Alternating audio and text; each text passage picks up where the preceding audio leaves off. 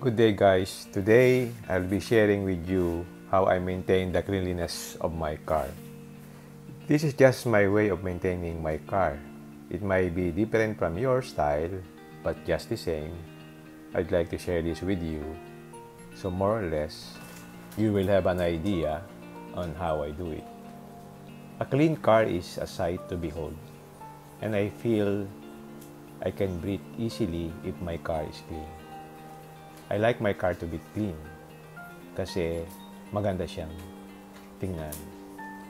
So ride with me in this journey to discuss this uh, work of mine. Tara!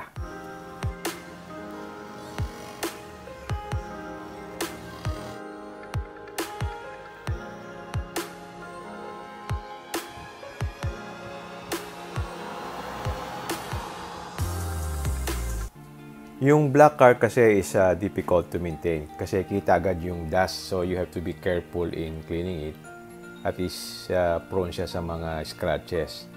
Kaya what we usually do is ini-spray siya ng tubig. And since I live in a condominium, wala kami namang hose na tubig. So para-paraan lang. Ginagamit namin yung parang uh, sprayer. So my son is helping me. He likes to wash the car. So, kailangan uh, bago mo siya uh, punasan is kailangan basahin mo muna para mawala yung alikabok. So, normally what we use is uh, water lang talaga. So, kailangan mo din talaga siyang uh, linisan regularly kasi pag kumapal na yung dumi ng alikabok, mahirap nang tanggalin at saka magkakaroon ng mga scratches. Kaya yun, regular washing. Isingit ko din lang itong uh, sa wiper. Marami kasi ako nakikita pagka nakapark, tinataas nila yung wiper. Hindi ko alam kung bakit. Siguro ayaw nilang mainita na yung rubber dun sa, ano, sa windshield. Pero hindi nila na realize na kapag matagal na nakataas yung wiper, actually yung uh, naapektuhan yung kanyang uh, efficiency. Kasi yung spring dito, naapektuhan yung tension niya. Kasi pag matagal siya nakataas, syempre, lalambot yung spring at hindi na siya kakapit dun sa salamin. Kaya ang tendency, hindi efficient yung wiping. So make it a habit then to clean your wiper blades para hindi sumabit dun sa windshield, para hindi siya magasgas. Paglinis naman ng engine, simple lang. Ginagamitan ko lang ng feather duster.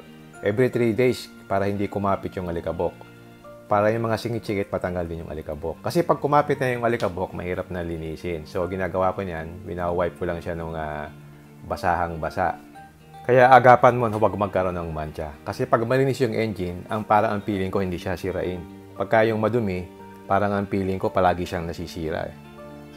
So, by doing that, nami-maintain ko yung linis ng engine without doing any engine wash. Hindi ko nagpapa-engine wash. Never.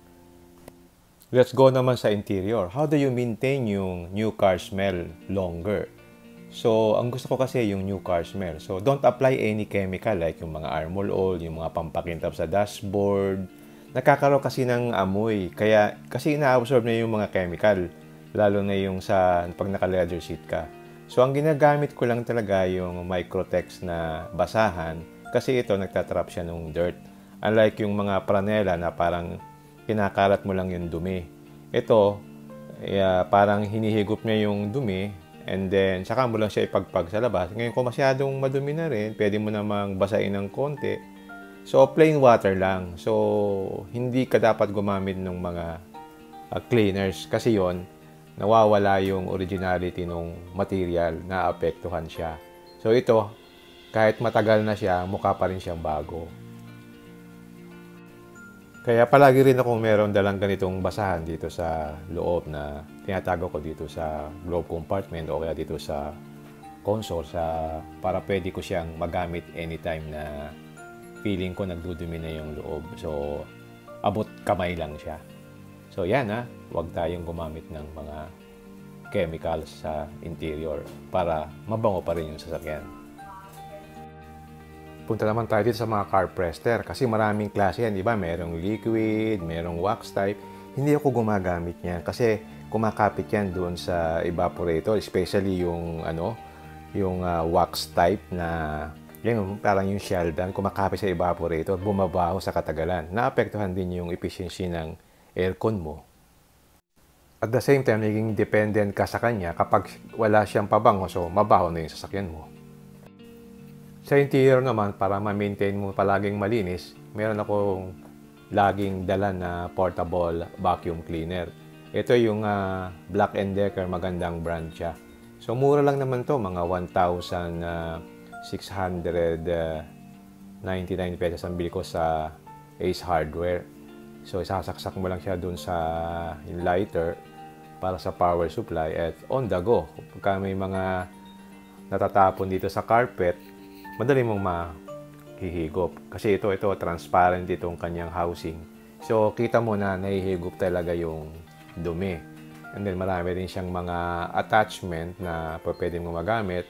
Pwede mo siyang uh, pahabain yung hose para makuha mo yung sa mga singit-singit. Normally, lalo na pag merong mga buha-buhangin kung uh, galing ka sa beach, di ba? So, kung meron ka nito, immediately, matatanggal mo ka agad siya. So, on the go. Ready ka na kapalagi. So, you maintain your car na palaging malinis. Kaysa pababayaan mo siya tumagal ng ilang linggo kasi tinatamad kang mag-vacuum kasi ang laki-laki ng vacuum sa bahay, di ba? So, ito, pwede mong gawin anytime. Pagdating naman sa mating, hindi ako gumagamit ng deep dish mating na usong-uso ngayon, di ba? Uh, kasi ito, sa una, magandang tingnan, but uh, mahirap siyang i-maintain kasi madali siyang magdumi. Halimbawa, nakasapatos ka, tumundong ka dyan, na may alikabok, maputi, mapuputi siya. So, ang dumi niyan tingnan. Sa kakalat-kalat yung dumi, pakalat-kalat lang diyan kasi natatrap niya yung dumi, kitang-kita mo, di ba? So, para sa akin, eh, hindi siya maganda. What I'm using yung parang 3M brand, yung parang ganyan, no? So, maraming klase naman yan. So, you can buy it dito sa Ace Hardware. Katulad nito ngayon, yung gagawin ko, itong luma kong uh, mating doon sa isang sasakyan, ililipat ko sa Montero. So, gagamitin ko siya. So, gugupitin ko lang siya. Nakapattern doon sa actual na mating para eksakto siya. Normally, you can buy this material dito sa Ace Hardware sa iba pang mga accessory shop, no? So, madali lang siyang gupitin. So, kailangan mo lang ng yung kitchen uh, scissor. So, magugupit mo dun sa pattern na gusto mo. So, ang kagandahan sa material na to, matatrap niya yung dumi sa ilalim so hindi mo siya kita sa ibabaw. So, malinis siyang tingnan, di ba? Unlike yung mga plastic or rubber na mating, kitang-kita mo yung dumi. So, ang kagandahan nito, hindi kita yung dumi. So, kailangan lang uh, masipag ka rin maglinis. Ibig ko sabihin, pag mong pabayaan na marami ng alikabok sa ilalim, hindi mo pa ipinapagpag. So, kailangan regularly, papagpag mo rin o ibabacuum mo para matanggal yung uh, mga nadumi na na-trap sa ilalim. Kasi pagka nag-stay siya ng matagal, may higup din siya nung ano, nung recirculated air nung sa aircon ano, papasok dun sa uh, aircon na filter mo. So, madali siyang uh, magdudumi. So, kailangan marinis palagi din yung interior mo by using this ano, system. Pinakamaganda yung 3M brand. Kaya lang uh, masyadong expensive. Mga, abutin ka ng mga 6,000 plus eh. So, mas maganda yung kung gusto mong makatipid, meron namang ibang brand na hindi siya 3M. So, ang ginagawa ko, dinadala ko yung uh, original na matting o stock matting doon sa Ace Hardware tapos pinapasukatan ko tapos sila na yung nagugupit para eksakto yung tabas. So yun, ganun lang. Katulad nito, nagupit ko na siya eksakto doon sa pattern nung uh, sa Montero na matting. So pwede ko na siyang uh, ilagay ngayon doon sa ano sa sasakyan. Ano, maganda siyang tingnan, malinis, hindi mo kita yung alikabok. Kaya kahit umuulan o basa, okay lang. Tara, ikabit na natin. So ito yung original na mating. Tinatanggal ko lang yung mga velcro.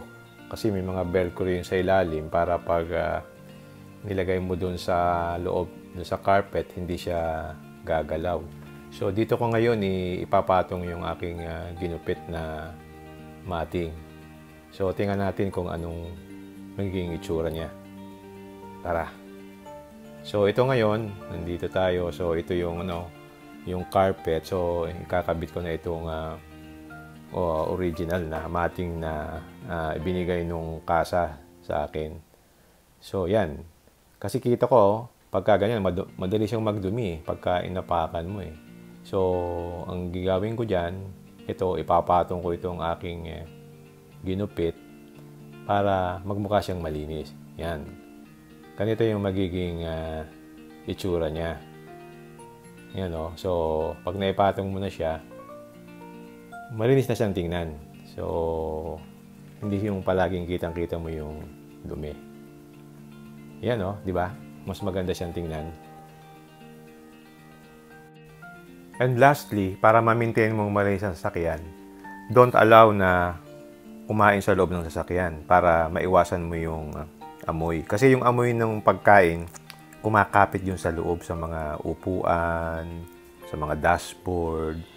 Minsan nakakaroon pa ng mancha, lalo na kung yung chocolate. So kung hindi naman may iwasan, pwede namang buksan mo siguro yung bintana. Pero ako talaga, hindi ako kumakain sa loob ng sasakyan. Lumalabas ako. Hindi ako kumakain kasi ayaw kong mangamoy yung sasakyan. Alright, uh, hanggang dito na lamang. I hope I have given you some insights how to maintain the cleanliness of your car. Parang corny lang, di ba? Pero ganun lang talaga. Trip-trip lang kung saan ka masaya. Sa akin kasi parang uh, therapeutic yung paglilinis ng sasakyan. I want my car to be clean. Parang mas maganda siyang tingnan at saka parang maluwag sa paghinga. So, sige. Until next time. So, if you like this video, don't forget to like, share, and subscribe. See you again in my next vlog. Bye!